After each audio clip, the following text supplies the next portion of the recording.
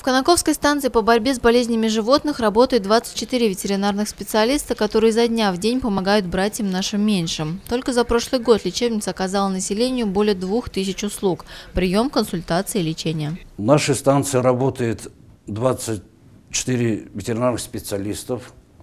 12 из них работает в, этом, в агрокомбинате Димитрова гора. Значит, ведут контроль качества качество выпускаемой продукции.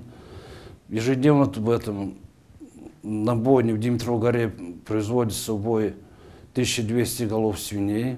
И все эти туши, можно сказать, всю продукцию они осматривают и дают заключение о благополучии данной продукции. Еще наши специалисты работают на трех рынках. На территории нашего района это универсальный рынок города Конакова – находится который на улице Баскакова, универсальный рынок поселок Макшино и универсальный рынок поселок Редкино.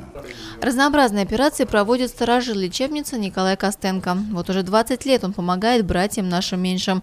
За время своей работы он прооперировал десятки тысяч животных. Молодые специалисты тоже с радостью приходят работать в Конаковскую ветлечебницу. Хороший коллектив, положительные отзывы о работе клиники подкупают. Очень разнообразная работа.